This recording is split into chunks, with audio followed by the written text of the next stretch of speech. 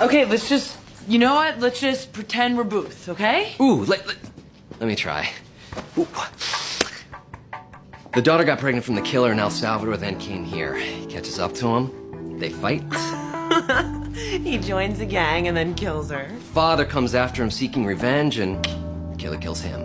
Oh, No, no.